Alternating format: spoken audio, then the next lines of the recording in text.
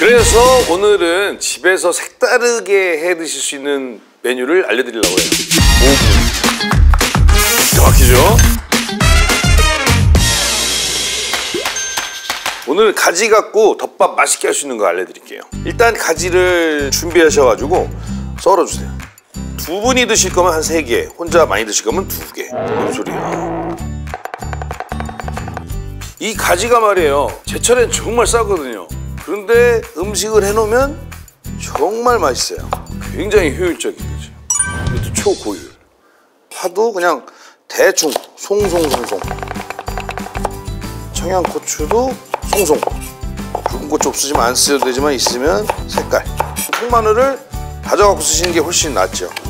자 이러면 재료 손질 끝났고 지금 재료 손질하는 시간보다 아마 조리하는 시간이 훨씬 빠를 거예요. 지금부터 디오스 인덕션으로 요리를 할 건데 잘 보셔야 될 게 중요한 거는 불이 얼마나 세냐예요. 불이 세야 효율적으로 효율적인 가지를 맛있게 볶을 수 있어요. 불만 세면 예, 초보자도 맛있게 할 수 있습니다. 시간을 재드릴게요. 5분 안에 5분 말이 안 되지 5분 안에 어떻게 음식을 해? 가능합니다. 시작. 자 그럼 뭐 마치 미션 하는 것 같은데 시작. 식용유는 슬쩍 한 두 바퀴? 어떠 많이 넣는다 할 정도 넣으시면 돼요. 저는 넣고 내가 하나 둘 셋 어떤 걸 쓸 거냐 골라서 넓은 거 선택해 주시고 근데 보통 일반적인 인덕션은 터보 스위치가 있는데 웬만하면 터보는 안 쓰셔도 돼요. 충분해요. 터보를 안 써도 고화력이라는 건 그만큼 효율이 좋다는 거지. 이것도 초고율. 일반적으로 인덕션의 엔진 역할하는 인버터가 보통은 두 개씩 들어있는데 이건 네 개나 들어있어요. quad 인버터니까 그래서 화력도 고화력인데다가 굉장히 효율적으로 쓸 수 있어요. 자, 금방 올라 엎뜨고 금방 올라오죠. 여기처럼 화력이 고화력이고 고효율적인 건 그냥 한꺼번에 다 넣으시면 돼요. 벌써 소리 나죠?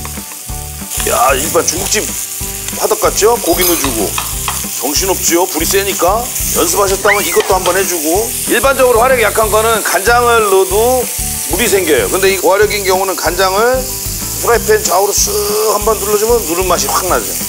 기가 막히죠? 그 다음에 굴소스 약간, 설탕 약간. 다 끝난 거예요. 시간 안 보잖아요. 그렇죠? 자, 이 다음에 가지. 특히 가지는 센 불에 바로 볶아야지 흐물흐물해지질 않아요. 자, 마무리로 참기름 살짝 넣어주시면 좋겠죠? 잠깐 시간이 한번 볼까요? 난 다 끝났는데 아직 2분이나 남았네. 야, 이게 5분 안에 되는구나. 신기하죠? 아직 시간 너무 남았죠? 근데 벌써 끝. 완성 딱 1분 19초 남고 담는 시간이 더 오래 걸리겠네요. 이쁘게 담아야 되니까. 1분 20초 남았으니까 딱 서비스로 달걀 후라이까지 스타트. 달걀 후라이 맛있게 하려면 뜨거운 기름이 열이 오를 때까지 기다려야 되는데 이거는 그냥 바로 넣으면 보세요 어떻게 되나? 바로 지글지글거리죠. 7, 6, 5, 4, 3 그렇죠?